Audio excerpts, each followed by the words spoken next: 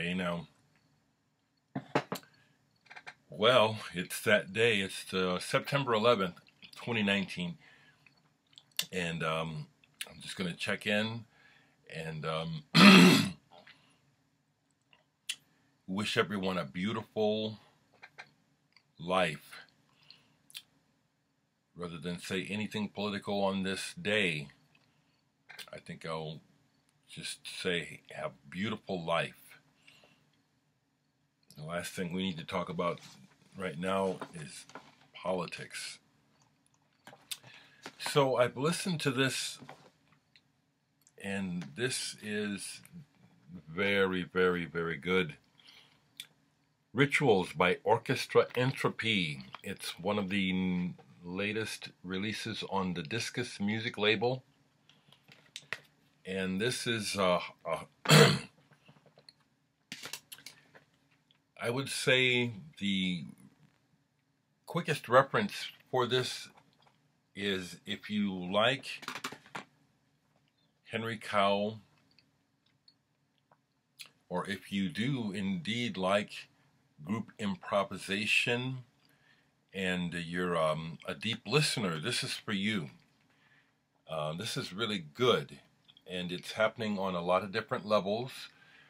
There's lots of things happening on here besides the horns. And um, the ensemble playing is really quite good.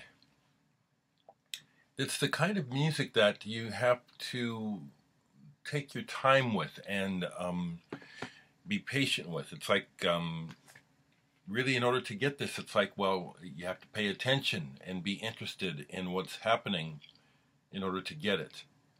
Orchestra Entropy, Discus Music, um, putting out some great stuff.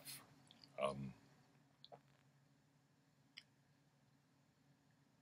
that's what I can say about this. I didn't play it this morning to touch base. I'm going from the the memory of the last listen, which was, yeah, this is a hearty meal, is what I was thinking. And these guys are um, working really well together.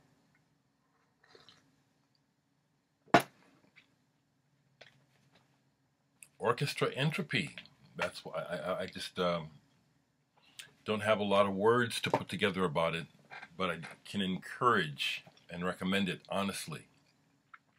I can rank up, recommend it honest, honestly. Um,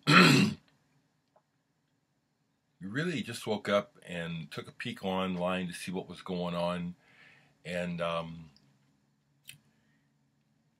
the uh, couple comments to respond to. Someone asked me, do I like Depeche Mode? Well, if you go back and watch some of my videos, frankly, my, my answer is always going to be, when people ask me, do you, well, what do you think about a rather established artist?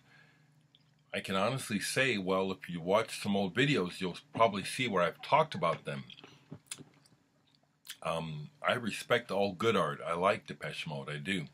I don't like all good artists. You know, some people who are really good that people like, I don't want to hear them. Van Morrison is one example. I respect Van Morrison, but I, I really don't care to listen to him. I was hanging out at, at, a record shop yesterday with Joe Benson, and he was asking me, "What do you what do you think of Willie Mitchell? You know, the uh, Hi producer." And I respect Willie Mitchell, but I don't. That's not the kind of groove that I'm in at home. It's not the sort of space that I want to be living in. It's very, you know. Someone else asked me, um, what do I think of Ariel Pink? I haven't bought his records, but I like Ariel Pink. I like what he's about. I met Ariel about eight, nine years ago. And it's funny, when I met him, he said, You look familiar. And I said to him, Well, we've never met, but I've worked with a friend, someone you know. We have a, a common a friend in common Dino Felipe, who I also I've never met, but we corresponded um, long distance and made a, a seven-inch single for Public Eyesore Records. And uh, we got to be pretty friendly, you know, long distance. So he probably saw some correspondence between myself and Dino. So I dug um, meeting and hanging out with Ariel. His music is eclectic. It reminds me quite a bit of the way R. Stevie Moore works. I just haven't bought any of his records because um uh because I haven't. You know, if someone were to send me some Ariel Pink, I'd love that. You know, just haven't bought any.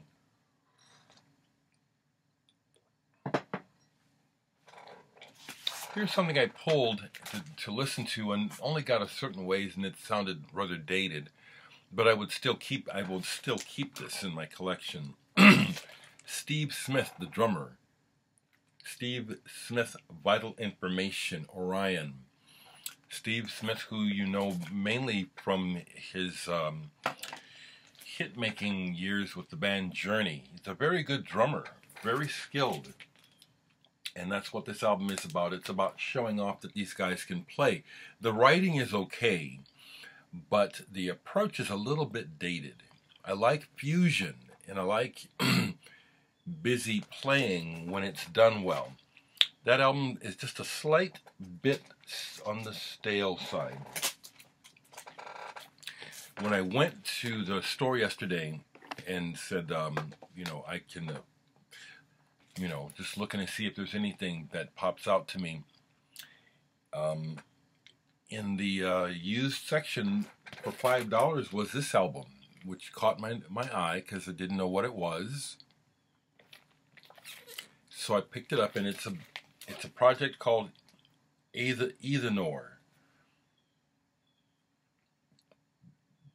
Uh, deep ocean in it's a funny title in deep ocean sunk the lamp of light now the reason why i went ahead and took a chance on this because i didn't know what it was so I, you know, was used, so I was able to look at on the inside. And one of the people credited on this is Stephen O'Malley. Um, from Sunn.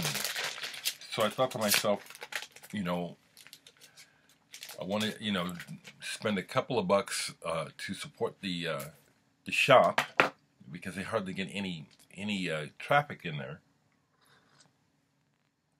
And this is one of the things that I've always loved when I could afford to record crate dig is to find things that look interesting and take a chance.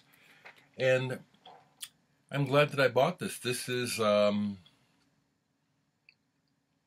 it's not it's not like Sunn, but it's a sound project and it starts off really quiet and it just builds into this the sound space. Um, I like it. I don't know how many times I would necessarily listen to this, but this is exactly the sort of thing where the listening, the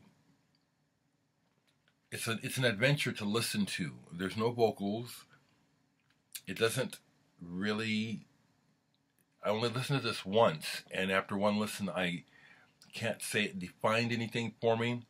I like what I experienced while it was happening. Aethenor, I think it's spelled A E T H E N O R. I, I had, didn't know anything about this, so a new edition um, from um, a, a little dig yesterday. Something else I'll show, which I do for fun, is um, I do make a lot of music um, for uh, no particular reason, just to make it, and then I archive it. Um, really, I'm not concerned about trying to put out anything new right now, but I have fun making um, copies of the stuff for myself for my own entertainment. And the last two uh, CD burns that I made were these. Um, if you online, you've seen this what picture here. To um, a cartoon of me by artist Solomon Ernst, and I just made a little cover for um, some of the things I messed with so far in 2019. You know, just one of a kind, not for sale. And this one too, some loops, loops that I had put together. Getting ready for a show I'm doing next week in Lincoln uh, for an avant-garde um, uh, showcase so I just made myself a, a single copy of what I some of the loops that came out pretty good. That's just fun stuff to do. I thought I'd show those to you. Not for sale. There's only one copy each. I have quite a bit of these. It's fun. You know, uh, as a record collector and nerdy guy, it's neat to um, just, oh hell, I'll make a record, you know, and there's only one copy. the one that I made. It's kind of fun. I've peeked in on a couple of uh, videos recently by people I can't even say their names because I've never watched them before. You know, the, the vinyl community idea has come a long way since I first discovered it. And it's just great that so many different kinds of people just own it and just do what they want. Bravo to all of you, all record collectors and music lovers um, and music nerds worldwide. Much love to all of you. So, um, I'll do a poll, okay? And I am probably missing some places where I haven't pulled, but I'm just gonna go right there. Okay.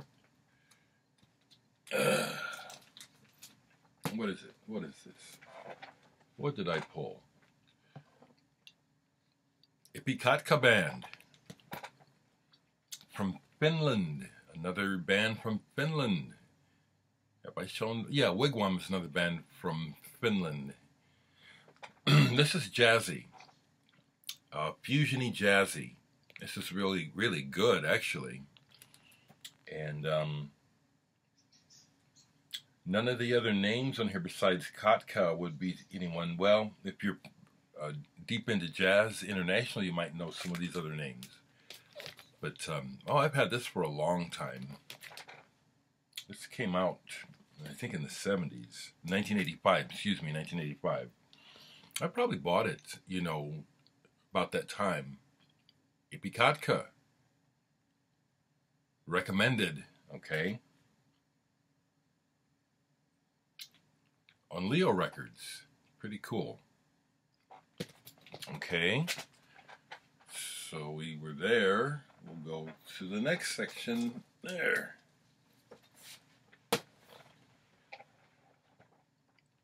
12 inch single by Japan, the band Japan, David Sylvian, Richard Barbieri, Steve Jansen, Mick Karn. This is a 12 inch uh, promo copy of Visions of China and Canton, US pressing of it. Love the band. Tin Drum is a classic album. If you don't know the band's album Tin Drum, that is just an amazing, unique album. No one had made anything that sounded like it at the time. No one. I highly rate that album.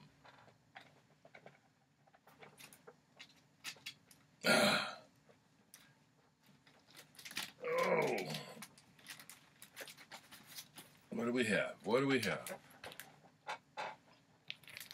Peter Michael Hamel. He was in the band Between.